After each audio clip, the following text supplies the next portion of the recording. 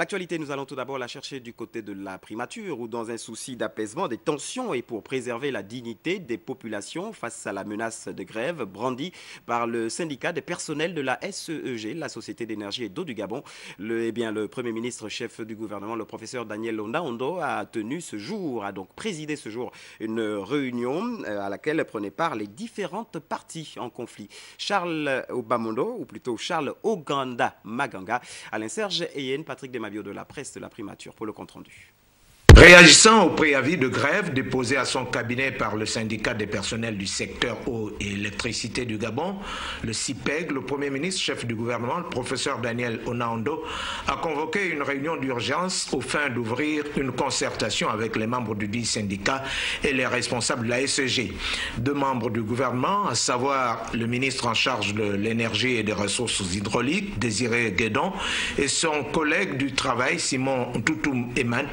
y ont été conviés. Évoquant les points de revendication du préavis de grève, ces derniers ont fait l'objet de discussions, notamment la poursuite de la médiation du chef du gouvernement sur le conflit entre la SCG et son syndicat au sujet de l'application du protocole d'accord de juin 2011, le point sur la CNAMGS et enfin celui concernant les réformes du secteur de l'énergie et de l'eau. Après avoir pris acte de celle-ci, le Premier ministre qui souhaite une sortie heureuse de la crise en gestation à la SCG a instruit les deux membres du gouvernement de mettre en place dans les meilleurs délais des commissions devant travailler sur les différents, toutes choses qui ont trouvé l'assentiment des responsables du CIPEC. Satisfaction pour la simple raison que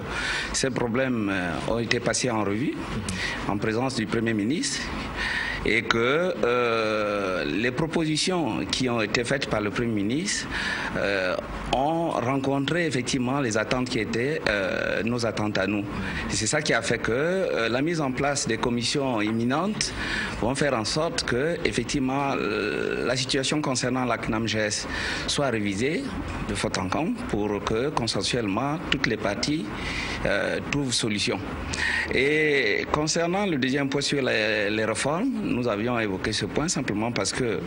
les agents se posaient la question dans le cadre du secteur de l'énergie, ce que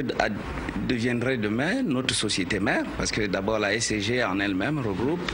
et la production, et la distribution, et la commercialisation. Donc les réformes prévoient un changement, un changement à ce niveau avec la création d'une société de production et de transport. Cette société euh, qui est mise en place va pouvoir certainement gérer tous les outils de production.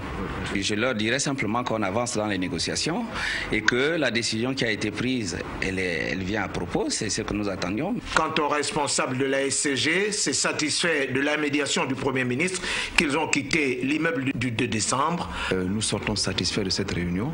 parce que avec les partenaires sociaux de la SCG, nous avons pu mettre à plat les points de revendication de leur euh, préavis de grève et ces points ont été étudiés euh, et soumis à la haute attention du Premier ministre. Donc nous avons donc bénéficié de ces conseils et nous avons pu, nous avons pu trouver ensemble les solutions qui permettent donc aujourd'hui de dire que nous sommes satisfaits parce que euh, euh, ce qui pointait à l'horizon en termes de préavis de grève a été levé par nos, partenaires. Ils ont accepté donc le principe de travailler sur ces points et de trouver ensemble les solutions. Et c'est vrai que la situation dans laquelle nous nous trouvions était assez vague. Tout le monde se, posait des questions. Qu'en est-il de la situation à la SCG Est-ce que les agents de la SCG vont rentrer en grève? Je peux aujourd'hui les rassurer euh, que les solutions que nous avons trouvées aujourd'hui ici au cabinet du Premier ministre permettent effectivement de voir l'avenir avec sérénité. À retenir que les agents de l'ASCG dénoncent depuis la non-application intégrale par la direction de l'entreprise des résolutions prises à l'issue des négociations d'août 2007.